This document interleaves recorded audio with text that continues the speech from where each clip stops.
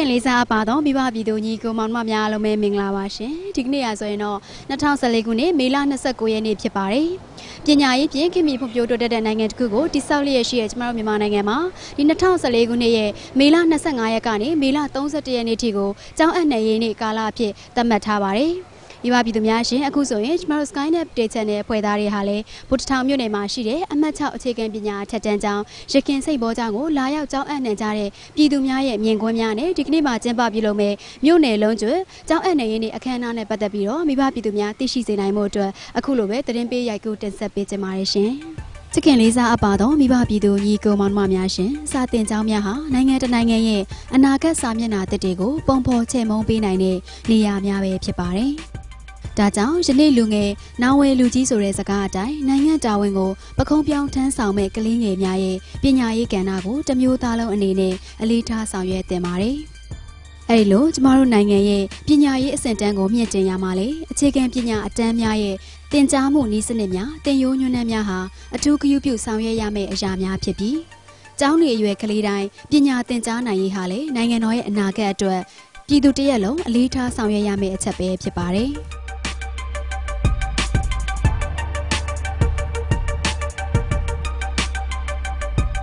မိဘပြည်သူများရှင်2011 2012ပညာသင်နှစ်မှစပြီးအခြေခံပညာမူလာတန်းကိုသင်ယူမဲ့ကလေးတိုင်းအတွက်အခမဲ့ပညာသင်ကြားနိုင်ဖို့နိုင်ငံတော်အစိုးရမှစီစဉ်ဆောင်ရွက်ခဲ့ပြီးယခု2014ခုနှစ်မှာတော့အခြေခံပညာအလယ်တန်းအဆင့်အထိတိုးမြင့်ပြီးအခမဲ့ပညာသင်ကြားနိုင်မှာပဲဖြစ်ပါတယ်။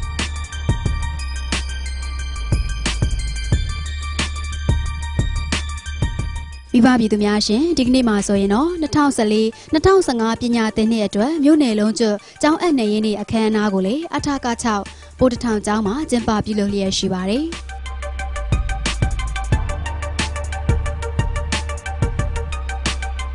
အခမ်းအနားမှာပထမဦးစွာမြို့နယ်ပညာရေးကြီးကြပ်မှုကော်မတီဥက္ကဋ္ဌမြို့နယ်အထွေထွေအုပ်ချုပ်ရေးဦးစီးဌာနမြို့နယ်အုပ်ချုပ်ရေးမှူးမှအမှာစကားပြောကြားခဲ့ပါတယ်။မိဘဆရာများလူမှုရေးအသင်းဖွဲ့များ စေတနာရှင်ပြည်သူများကဝိုင်းဝန်းပူးပေါင်းဆောင်ရွက်ပေးသွားကြမှာဖြစ်ပါတယ်။တိုင်းဒေသကြီးပြည်နယ်များလိုက်မြို့နယ်များရှိအခြေခံပညာကျောင်းများ၌မေလ25ရက်နေ့ကနေ31ရက်နေ့ထိကျောင်းအပ်နှံရေးတရေပတ်အဖြစ်သတ်မှတ်ပါကျောင်းသူကျောင်းသားများအားကျောင်းအပ်လက်ခံ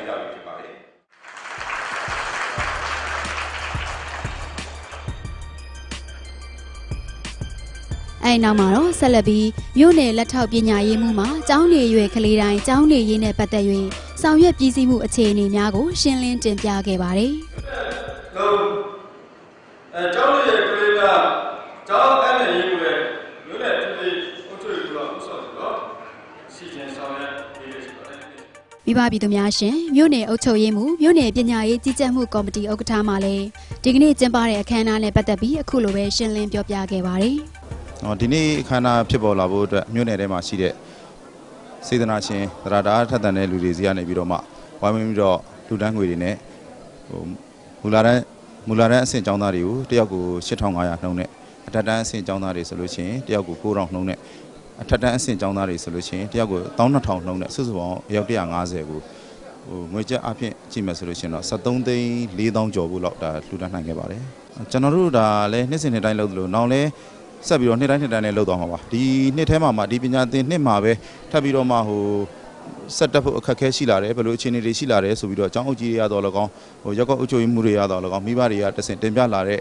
ဆင်းရဲနွမ်းပါတဲ့ကလေးတွေရှိလို့ရှိရင်လည်းဒီလိုတတ်နိုင်သမျှလှူဒန်းခြင်းနဲ့အလှူခြင်းတွေနဲ့ချိတ်ဆက်ပြီးပြီးတော့မှဆက်ပြီးတော့မဖြစ်မနေပညာသင်ကြားနိုင်ရေးအတွက်ကျွန်တော်တို့ကုညီဆောင်ရွက်သွားမှာဖြစ်ပါတယ်။လောလောဆယ်ကတော့ကျွန်တော်တို့သိရသလောက်ကတော့ ဒီနှစ်မှာဆိုလို့ရှိရင်ခါတိုင်းနှစ်ကဆိုလို့ရှိရင်ကျွန်တော်တို့မူလာတန်းအဆင့်ပဲဒါအခမဲ့ပညာသင်စနစ်အနေနဲ့ဆောင်ရွက်နိုင်ပြီးတော့ဒီနှစ်ဆိုလို့ရှိရင်တော့ဒါအလယ်တန်းအဆင့်ထိကိုအခမဲ့အားလုံးမတက်မနေရပညာသင်တဲ့စနစ်ဖြင့်ပြောင်းလဲကျင့်သုံးလာခဲ့တယ်လို့သိရပါတယ်တော်တော်များများကတော့အဆင်ပြေသွားမှာပါလေတချို့တော်တော်များများကတော့ဒါဟိုမိဘတွေအနေနဲ့လည်းဘာပဲဖြစ်ဖြစ်ဒီကြောင်းအပ်တဲ့အချိန်မှာဒါသူတို့ဟိုသားသမီးတဦးတယောက်တယောက်စားနှစ်ယောက်စားဆိုမသိပေမဲ့သားသမီးများတဲ့မိဘတွေအနေနဲ့ဆိုလို့ရှိရင်ဒီကြောင်းအပ်တဲ့ယာတီအတွက်အထူးဒါဟိုပူပင်ကြောင်းကြရတဲ့ ရာသီရောက်တယ်ပေါ့နော်အခုဒီလိုမျိုးလေတန်းအဆင့်အထိကိုဒါနိုင်ငံတော်ကနေပြီးတော့ဒီအခမဲ့ပညာသင်စနစ်လှုပ်လိုက်တဲ့အတွက်ဒါမိဘတွေအနေနဲ့ပူပင်ကြောင်းကြမှုအများကြီးနည်းသွားပြီးတော့သားသမီးတွေရဲ့ပညာရေးမှာလည်း PPCC နဲ့ဆောင်ရွက်နိုင်လိမ့်မယ်လို့ယုံကြည်ပါတယ်သူကကျောင်းလာကပေါ့တစ်နှစ်လုံးကျောင်းလာကတော့ PTA တို့ ASL တို့အဲ့ဒီဥစ္စာတွေအကုန်လုံးအတွက်ကိုတာဝန်ယူပြီးတော့ဆောင်ရွက်ပေးလိုက်တာပါကျောင်းသားတွေအနေနဲ့ဟိုတီးခြား ဟိုနေ့ဖြစ်စရာဝယ်စရာမလိုတော့တော့အောင်လို့ဟိုနေ့ဖြစ်တာပါတီးခြားပတ်စံသွင်းစရာမလိုတော့တော့အောင်လို့ဆောင်ရွက်ပေးလိုက်တဲ့စနစ်ဖြစ်ပါတယ်အာထာက6ဘုတ်ထောင်ကျောင်းမှာကျောင်းအုပ်ကြီးမှလည်းပညာရေးစနစ်ဆောင်ရွက်မှုများနဲ့ပတ်သက်ပြီးခုလိုပဲပြောပြခဲ့ပါတယ်ရှင်အခုစာတင်နှစ်အစ2014 15ပညာသင်နှစ်မှာထူးခြားဆုံးထူးခြားမှုတစ်ခုအနေနဲ့ကတော့ရင်ခင်နှစ်တွေနဲ့မတူတဲ့အကြောင်းတစ်ခုရှိပါတယ်အဲ့ဒါတော့ဒီနှစ်မှာလည်းပဲအလေတန်းကိုအခမဲ့ပညာရေးစနစ်ဖော်ဆောင်လာတာဖြစ်တာပေါ့နော် အဲ့တော့အခမဲ့ပညာရေးစနစ်ဆိုတော့မူလတန်းအခမဲ့ပညာရေးစနစ်ကမနှစ်ကအထိဆောင်တယ်ဒီနှစ်မှာဆက်ပြီးတော့အလေတန်းကိုအခမဲ့ပညာရေးစနစ်ဆောင်ရပါတယ်အဲ့လိုအခမဲ့ပညာရေးစနစ်ဆောင်ရတဲ့အတွက်ကလေးတွေမှာဒီမိဘဆရာသင်ကြီးလို့ခေါ်တဲ့ PDG ပြည့်စရာမလိုပါဘူးနောက်တစ်ခါကျတော့အဲ ESG လို့ခေါ်တဲ့စာကြည့်တဲ့စာရေးကိရိယာအောင်စားကြီးပြည့်စရာမလိုပါဘူးကျောင်းလာကပြည်သွင်းစရာမလိုပါဘူးနောက်ပုံလေးစာအုပ်ဆိုလို့ရှိရင်လည်းအခမဲ့ ဖြန့်ဝေပေးပါတယ်အဲ့အတွက်မိဘတွေအနေနဲ့လည်းဟိုကျောင်းလာအပ်တဲ့ခါမှာသူတို့အနေနဲ့ကြည်ကြည်နက်နက်နှစ်ထောင်အားရရှိတာကိုဟိုကြားသိရပါတယ်အဲ့တော့ဆရာကြီးတို့အနေနဲ့ကတော့ဆရာကြီးတို့ကဆရာဆရာမတွေအားလုံးဟာ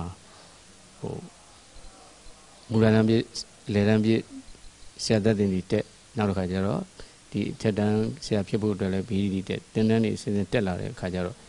တကယ်ဆရာစိတ်ပေါ့ဆရာစိတ်ဆိုတာဆရာသမားတယောက်မှာပညာကုံသီလကုံတမာရီကုံဆိုတာရှိတယ်အဲ့တော့အဲ့ဒီပညာကုံသီလကုံတမာရီကုံပေါ်မှာစိတ်မွေးပြီးတော့ကိုယ့်ရဲ့တပည့်တွေကောင်းဖို့အရေးဘဝမှာရှင်သန်မှုအရေးထူးချွန်ထက်မြက်ဖို့အရေးကိုအမြဲအောင်စိုက်ပြီးတော့ဆောင်ရွက်နေတာဆိုလို့ရှိရင်လည်းဒီအကြောင်းမိပါတွေဒါအကုန်လုံးသိပါတယ်အဲ့တော့ဆရာဆရာမအတိုင်းမှာဒီဂုံတွေနဲ့နှိုင်းရှင်ပြီးတော့အလုပ်လုပ်ရတဲ့အတွက်ဟို အင်တန်မောက်ကိုဟိုကြီးလေးတယ်ပေါ့နော်ဒီဂုံသုံးမောက်ကိုထိမ့်ပြီးအလုပ်လုပ်ရတဲ့အခါကြီးလေးတယ်ကိုယ့်ကိုယ်လည်းဟိုကျင့်တတ်ပါတယ်ဘာဖြစ်လို့လဲဆိုရင်ဒီဂုံသုံးမောက်ကိုထိမ့်ပြီးတော့မုံမြတ်တဲ့အလုပ်ကိုလုပ်ရတယ်ကုသိုလ်လည်းရတယ်ဝမ်းလည်းဝရတယ်ဆိုပြီးတော့အားလုံးကိုဟိုကြည်ကျင်နဲ့နဲ့ဆောင်ရပါတယ်အဲ့တော့အခမဲ့ပညာရေးဖော်ဆောင်တဲ့အခါမှာဥအလေတန်းခမဲ့ပညာရေးစနစ်ဖြစ်တယ်နောက်တစ်ခုကျတော့အထက်တန်းပိုင်းမှာကျတော့ဟိုခုနကပြောခဲ့တဲ့မိဘဆရာတင်ကြီးနောက်တစ်ခါ ESL ကြီးနောက်တစ်ခုကကျောင်းလာက အဲ9တန်းဆိုရှင်အလုံးပေါင်း1900ကျမယ်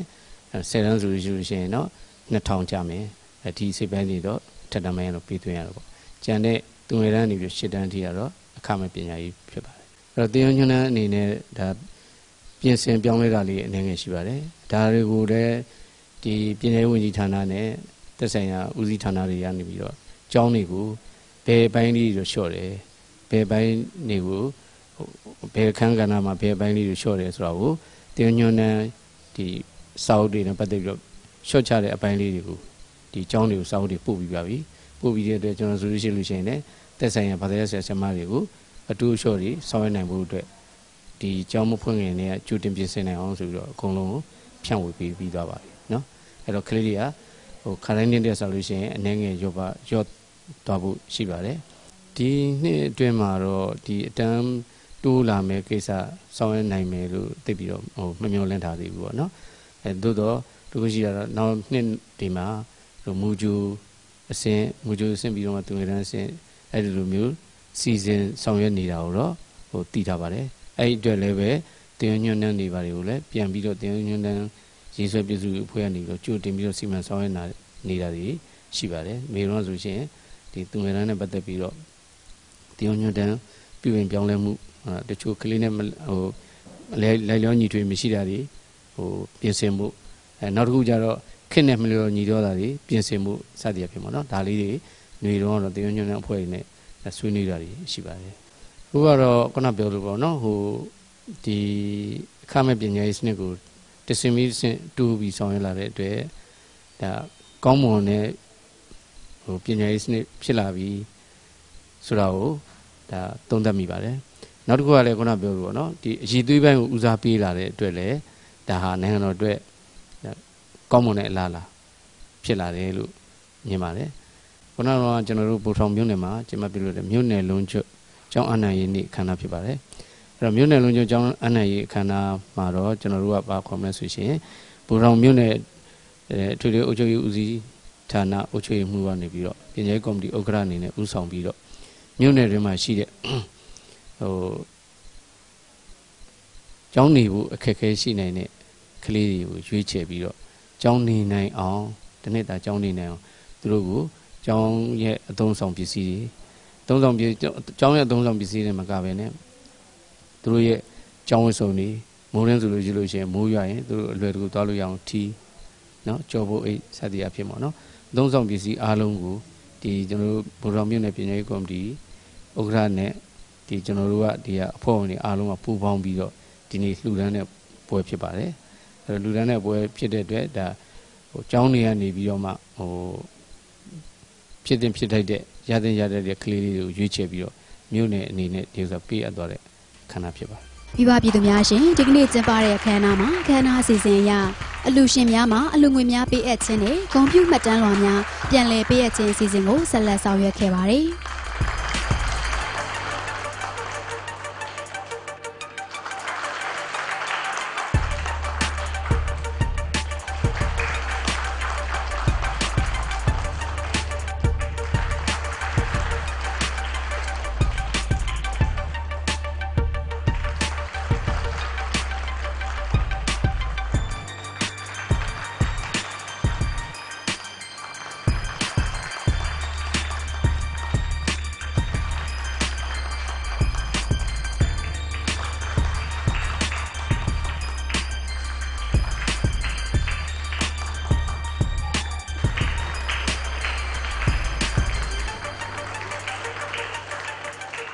အဲဒီနောက်မှာတော့ကျောင်းနေရွယ်ကလေးများနဲ့ကျောင်းနေရန်အခက်အခဲရှိတဲ့စင်ရဲချွတ်တဲ့တဲ့ကလေးငယ်များကိုကျောင်းသုံးဗလာစာအုပ်စာရေးကရိယာကျောင်းဝတ်စုံနဲ့ပညာသင်ထောက်ပံ့ခြင်းများပေးအပ်ခဲ့ပါတယ်ရှင်။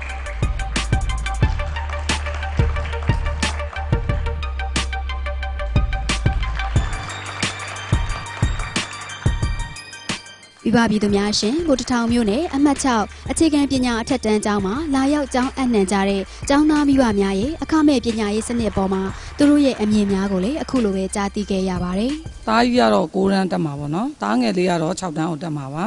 ကျောင်းမှုခြေနေရတော့အခုဆိုရင်ဒီနှစ်ဆိုလို့ရှိရင်မူလာတန်းရောအလယ်တန်းရောအခမဲ့ပညာသင်မှုတွေ သင်ရတယ်ပေါ့နော်တပြားမှလည်းမကုန်ပါဘူးကျောင်းဟိုပေါ့ textbook တွေအားစအလကားပေးတာပေါ့နော်ဒီနိုင်ငံတော်ကနေပြီးတော့အဲ့အတွက်ကိုမိဘတွေအားလုံးအတွက်လည်းဟိုပေါ့နော်မူလာတန်းနေအလယ်တန်းတီကိုဟိုဘယ်လိုခေါ်မလဲအခမဲ့တွေဖြစ်လာတဲ့အတွက်မိဘတွေအတွက်လည်းအားလုံးဟိုအတွက်အဆင်ပြေတယ်ပေါ့နော်နောက်နိုင်ငံတော်ကနေပြီးတော့ဒီလိုအခုဒီနှစ်မှာဆိုရင်မူလာတန်းအလယ်တန်းဖြစ်လာပြီအခမဲ့နောက်နှစ်တွေမှာလည်းအထက်တန်းထိပါအခမဲ့ပညာသင်လို့ရမယ်ဆိုရင် မိဘအားလုံးအတွက်ကိုလည်းဟိုပေါ့နော်အားလုံးလည်းပျော်ကြမယ်ပေါ့နော်ပညာပေါ့ကျောင်းသားကားကြီးလည်းမရှိဘူးဒီအစိုးရကနေအားလုံးကိုလုံးစုံလုပ်ပေးတဲ့အတွက်အားလုံးအစဉ်ပြေမယ်လို့အမထင်တယ်ပေါ့နော်အဲ့လိုလုပ်ပေးနိုင်တော့ကောင်းမယ်လို့အမပြောချင်ပါတယ်